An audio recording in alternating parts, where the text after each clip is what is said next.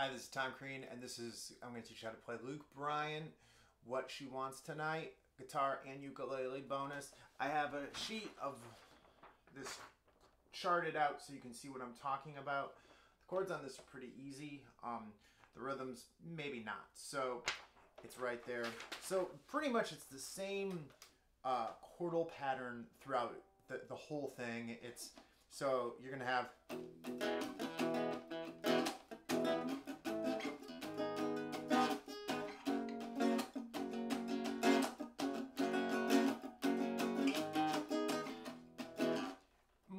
less. So in slow motion, down, up, down, up, da da da da da da da da da da da da da da four.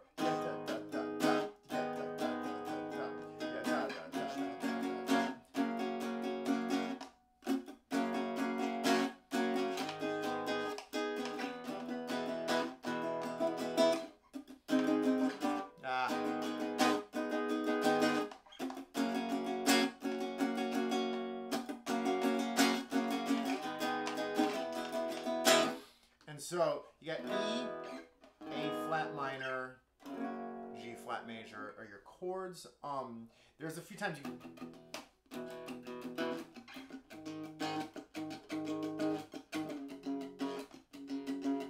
like on the verse, and then obviously in the chorus they're just you know straight strumming down.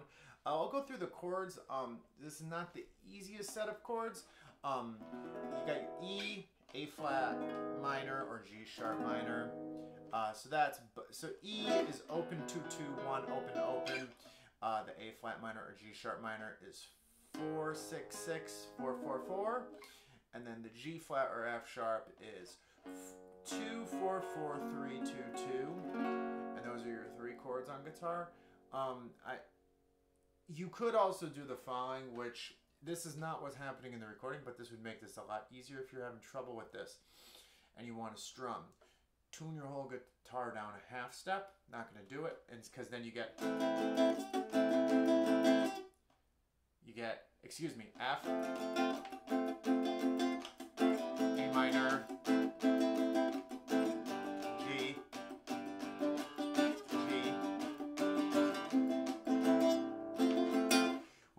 I think for people who want to strum songs, that's the most likely situation you're going to actually want to use because that's going to give you the information you want. That's what you you- you're going to want to sing and play the song. So I think that's what most people are going to want. But if you want to be accurate, there's bar chords and power chords. Let me quickly show you on ukulele. On ukulele, you could also tune down, and it also gets, you tune it down a whole step, it becomes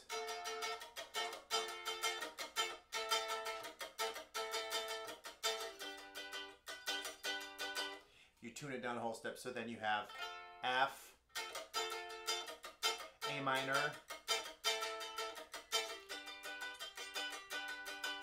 G.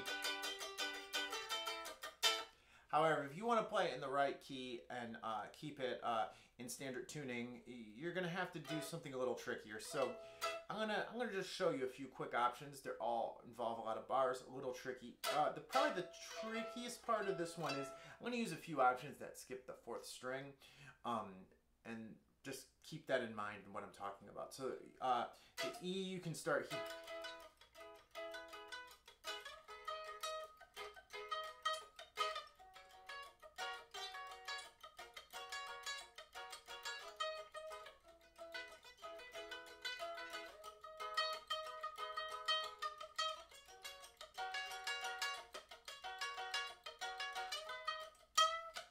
And so there, I'm, I'm, I'm, I'm only playing on three, two, and then one. I'm skipping the fourth string altogether.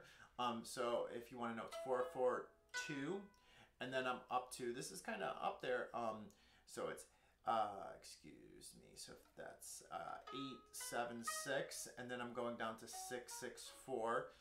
And then just to show you, you, you can ch change it up a little bit.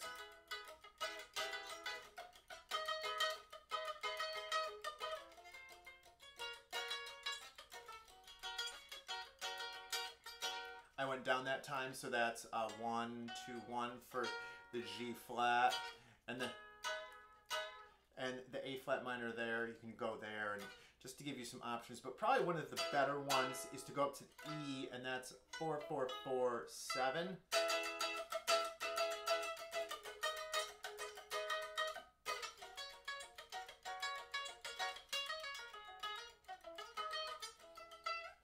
I don't know. I personally like that. I think that is a really nice sound. That's probably what I would mix along with a lot of the three finger voicings if I was playing this on ukulele. Let me know what you think. Don't forget to download in the description uh, the chart so you can play this. And have a great day.